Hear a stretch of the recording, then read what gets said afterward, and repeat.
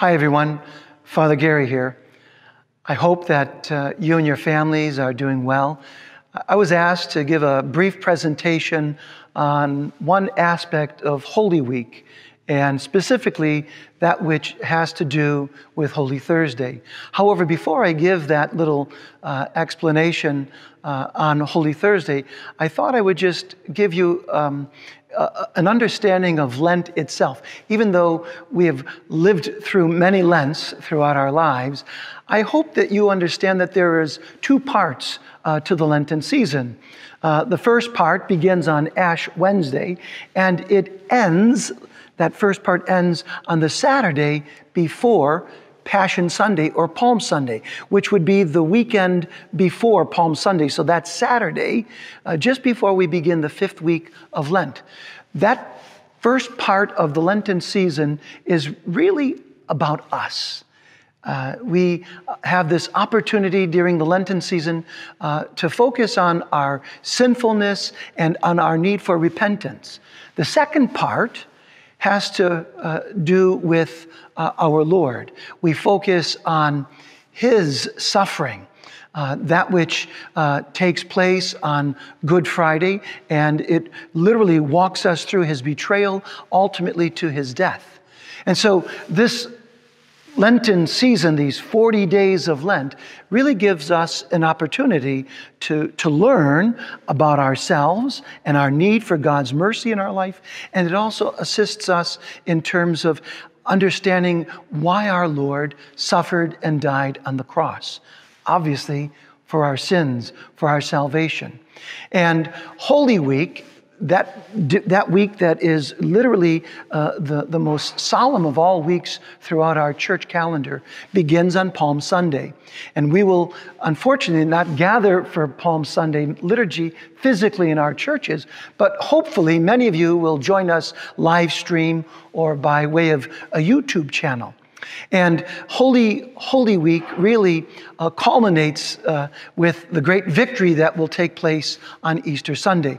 There is a movement of uh, all the liturgies, and the very first liturgy that I'd like to focus on is that of Holy Thursday. It's referred to in many ways as Maundy Thursday. In other words, um, is a Latin word that comes from the word mandatum.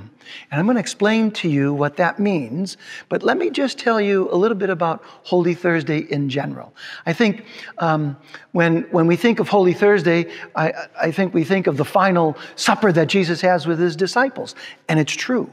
But even beyond that, if you were to read St. John's Gospel for that particular evening's liturgy, you would find that God wants us uh, very close to Himself. He wants to be present to us. And He does that in three ways in that liturgy. Obviously, the Eucharist that Last Supper, the meal before Jesus is going to be uh, uh, betrayed and then uh, condemned to, to, die on the cross, uh, the night before his, uh, his death and crucifixion. That meal uh, really is the, the gift that Jesus gives to the church. He inaugurates, institutes the Eucharist on that evening. And in addition to that, he tells his disciples uh, to, to continue on that, to do it in his memory. And he institutes holy orders. Specifically, he hands on uh, the gift of the Eucharist to the presbyters of the church. And isn't it amazing that through the Eucharist and through holy orders, the priest makes present God's love in all of the sacraments. He does it in the Eucharist, and he does so in all the other sacraments. Now, I said I would explain to you mandatum, the mandate, or um, the, the, the, the final command that Jesus offers to his disciples, but also ultimately to us. That command is to do what he did. And what did he do?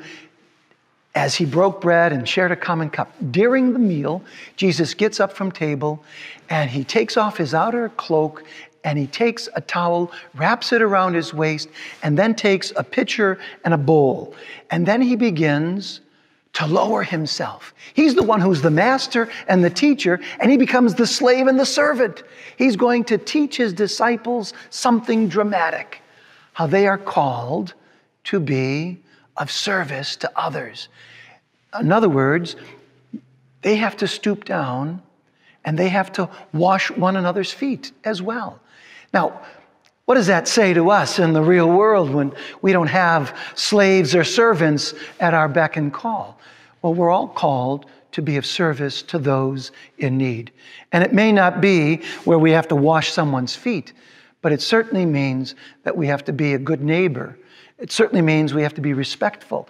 It certainly means that when someone is in need of some type of assistance, whether it's bodily or spiritually, we have a responsibility to care for them, to look out for them, uh, and, to, uh, and to be present to them in their midst. And isn't that really what uh, God wants of us uh, really to do, to be present to others, especially in their need. So we carry on that threefold um, responsibility uh, that was handed on to us at our baptism. That we are also called not just to be a kingly person, a prophetic person, but a priestly person, a person of service. So I would encourage you as we enter into this Holy Week uh, to be of service to your families, uh, to your neighbors, even to the church. I know that we, we are in uh, challenging times, and I know that uh, life isn't the same, but we have an ability uh, to change the way we look at the world and the way in which uh, we live in the world. And so I hope that my little message about Holy Thursday will inspire you uh, to be of service uh, to one another. God bless you all.